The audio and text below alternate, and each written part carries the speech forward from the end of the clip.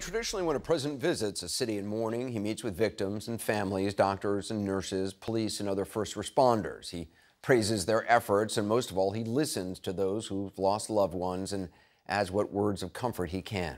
President Trump did that today in Dayton and El Paso, as is tradition, away from cameras, away from microphones. At least we have to assume that is exactly what he did. But we also, just moments ago, heard the President of the United States using some of his precious time to talk about himself and to attack an Ohio senator and the mayor of Dayton. Somehow, for some reason, the president felt this was an appropriate venue to air his grievances and praise himself. The president spoke tonight shortly before leaving El Paso, and where any other president might have put the victims first, or the wounded, or the first responders, this president's first words were about the love and respect he got in Ohio. We had an amazing day. As you know, we left Ohio and uh, the love, the respect for the office of the presidency. Uh, it was, I wish you could have been in there to see it. I wish you could have been in there.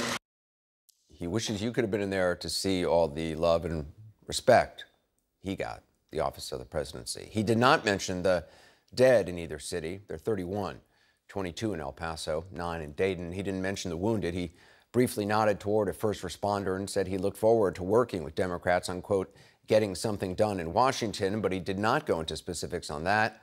Where he did get very specific was when asked about his attacks today on some of his hosts in Dayton.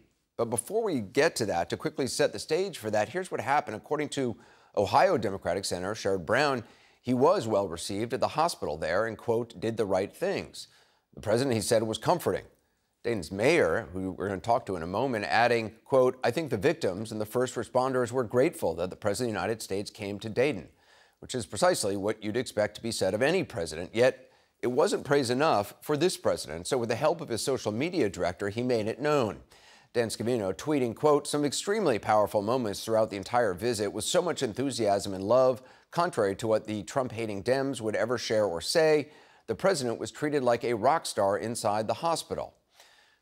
The president was treated like a rock star inside the hospital. He also weighed, the president weighed in saying, quote, just left Dayton, Ohio, where I met with the victims and families, law enforcement, medical staff, and first responders.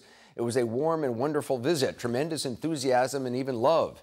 Then I saw failed presidential candidate 0% Sherrod Brown and Mayor Whaley totally misrepresenting what took place inside of the hospital. Their news conference after I left for El Paso was a fraud. As I said, the mayor is going to join us in a moment. And again, she had nothing bad to say about the visit, but the president wanted rock star and I guess had to settle for normal, decent human being and apparently nursed that grudge all day.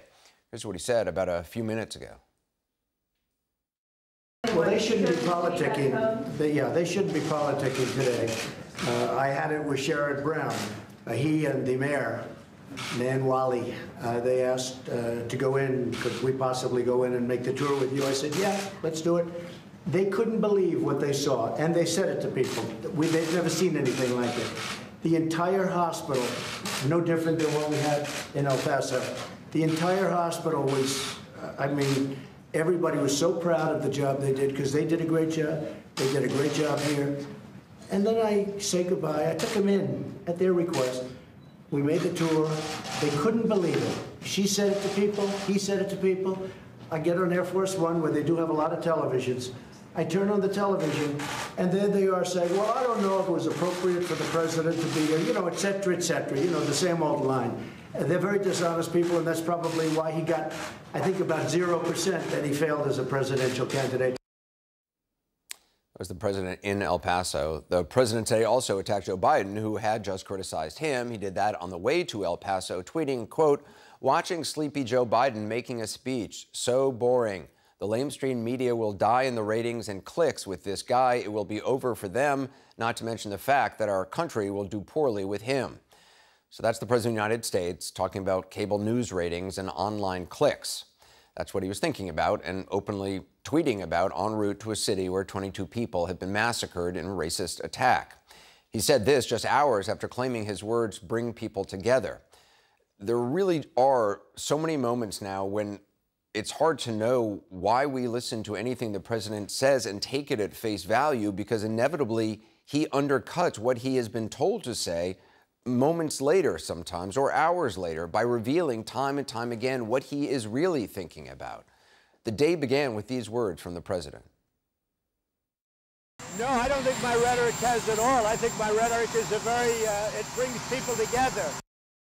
Well, he's right about that today in a certain sense. Here are a number of people his rhetoric brought together protesters in both cities holding signs, chanting, giving speeches against the language the president has used. There is simply no way to overstate how far from normal this is, or sadly, at this point, how typical.